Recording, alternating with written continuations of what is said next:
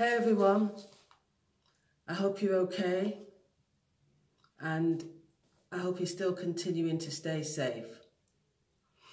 Welcome back to my channel and for those of you who are new here, welcome. My name's Ivy. So if I'm looking down a lot today, it's because I've got some notes and uh, everything's playing up today. Eyesight, memory, you name it. Anyway, this video is about taking prednisolone. Um, now, the prednisolone tablets, they're small round tablets and mine were five milligrams. Um, they are a corticosteroid and these are a man-made drug that closely resembles the cortisol that our own bodies make in our adrenal glands. Now, cortisol is also known as the stress hormones, so it helps us deal with everyday stresses.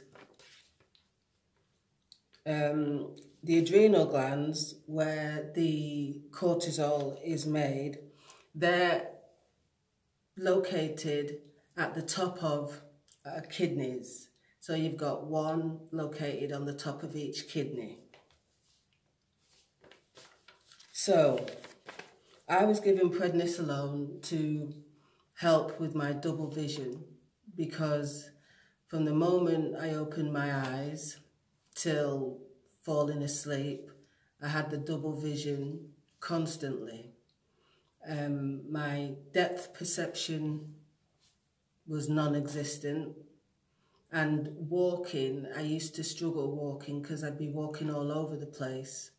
And so I'd have to say to myself, come on, Ivy, focus. And I'd walk slow so that I would have more chance of walking, you know, in a straight line. Um, yeah, so we'd been given the prednisolone the first week, my doctor said, right, just take five milligrams. And then the second week, go up to 10 milligrams, which is two tablets. The third week, three, tab three tablets, yeah, that's 15 milligrams. Fourth week, 20 milligrams, um, four tablets, and so forth. He said, but don't go over eight tablets, which was 40 milligrams. So I stopped at 40 milligrams and I was taking eight tablets every day. Um, yeah, it sounds a lot. But, you know, what prednisolone does is it suppresses things. So what the doctors wanted to do was for the steroid to stop you know, to make my eyes sort of like get back to seeing one vision. Um, so eventually that's what happened. My double vision went away yay, I can see again. But with taking the prednisolone, prednisolone, along came the weight gain. And the weight gain came quite quickly actually, you know, and it wasn't great, you know, because it's like, oh, weight gain. It was like I had this weight gain, but yeah, hey, double vision's getting better. So, um, yeah, so I had the weight gain. Now, with prednisolone, it causes you to have a re let me get this word right a redistribution of fat so that fat re redistribution would go like to my cheeks so it would go like to my cheeks so I would get what is known as a moon face or it would or it did redistribute as well to the back of my neck so you'd get like a camel's hump. Nice. Uh, I got a redistribution of fat to my stomach. You know, my feet swelled up, my ankles swelled up. In fact, the fat just redistributed itself everywhere. Um, I don't know how much I gained because I don't have scales, but it was a lot. You know, when you just see yourself changing, it's like, wow. You know, so yeah, that was hard. It was hard going, but on a positive note, you know, I like that positivity. My double vision had gone. So I love that.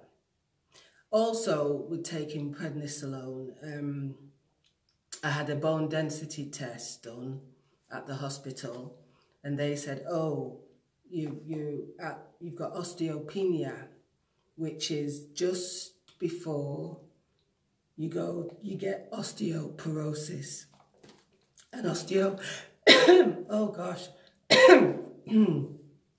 excuse me, osteoporosis is where you know, your bones weaken. Um, also, I uh, was told that I was pre-diabetic. Yep.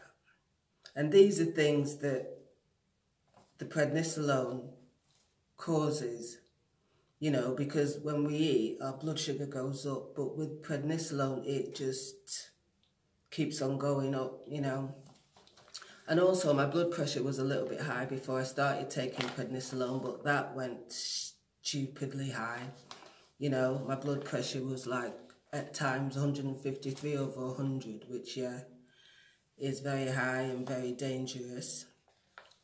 So those were some of the things that, you know, uh, happened to me. Um, what else now?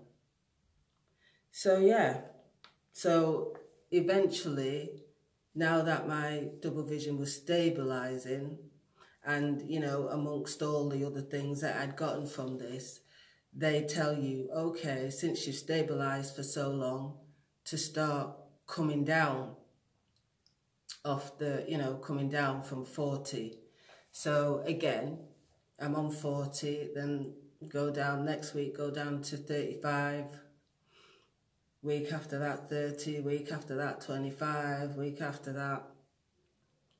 No, so it wasn't weeks, it was like I'd come down and I'd stay like a month on 35, then a month at 30, a month at 25, and then go down to 20 milligrams. And at 20 milligrams, everything was still staying stable. And then I went to see, you know, my consultant again and he was like, well, I think you can go down to 17, 17 and a half. I was like, yes, I'm getting there. Because by this time, I'd, I'd had enough of prednisolone. You know, I'd had enough of it. Just, But you can't stop taking prednisolone, right? Don't ever stop taking it. Because you will get withdrawal symptoms and they ain't good. So anyway, I'm down to 20 doctor says I can start tapering down to 17.5 or was it 17.25, one of those, the next day. And so I did this. Now let me tell you, one breed of pain came into my life. Oh my gosh, in my legs. People, I had never felt anything like this pain. I, I don't know where it came from but it was excruciating, it was intense, it was bloody well horrible. And I'm telling you, I, I wanted to, I wanted to cry, I wanted to scream. For three nights, I didn't sleep whatsoever. I was just up all night, walking up and down. You know, if I tried to lift my foot up on the bed, oh, it was so painful. I think it 20 milligrams, that's the threshold. When you start to go underneath, then pain can come back.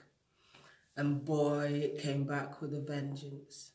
And after three nights, I couldn't cope. I said, okay. And I went back up to 20 milligrams and the pain literally went away. And so I thought, okay, I'm going to stay on 20 milligrams for about a week, but I am determined to taper down from, you know, taper down from 20 milligrams because I just wanted off it. So I let a week go by uh, just to rest up from that pain. And then thankfully, when I went down to 17 point, whatever it was I went down to, that pain didn't come back. I was like, thank you, Lord, because whoo. And so, yeah, and that was a hell of a lot better, you know, second time around, so to speak. Um, let me see what else. So, yeah, I have continually from the 17.25, I think, tapered down so you go from, I went from 17.25 to 15, then I went to like 12, 12 and a half, then to 10, you know, and then I went to five because I had a doctor and he said, you've been on this prednisolone a lot, you know, I think it's time you came off it. And I was like, I agree. And so from 10, he said to me, go down to five. And um, so that's what I did. And, but steadily as I've been, you know, as I went down, so from five, I went down a milligram. So I'd go down to four, then to three, then to two, then to one. So I'm not taking prednisolone anymore because, like I said, I felt my body needed a break from that. Um, my double vision has come back and along with a few other symptoms. Uh, yeah, I kind of knew it would, you know. But I do have a phone conversation uh, with my doctor in a couple of weeks and I'll tell him what's going on and no doubt he'll probably say, well, you need to go back on prednisolone again. Um, yeah, I'm not looking forward to that. I'm going to try and ask him if there's anything else that, you know, I could take in its place. But if I did go back on it, I know much more about it now and what things not to do. You know, because I don't want, you know, anything. And I don't know if, like I said, that, you know, I had test results that said I was pre-diabetic. Well, before lockdown, um, I did go and get another blood test, but that didn't come back and tell me anything apart from to go in another three months for another set of blood tests. Then lockdown happened. So I've been, you know, I've made changes. So I, hope the next time I get blood tests to see if I'm pre-diabetic, they'll say that's, you know, gone. I'm no longer pre-diabetic. But yeah, that's my journey. Taking prednisolone. Um, you know, I hope it's been interesting, this video, and you've learned a little something. so if it's taken uh, some time, you know, you deserve an Oscar for that. So please like and subscribe, give it a thumbs up share, you know. And oh, remember, let's smash this life. See you in the next video. Bye for now. Take care.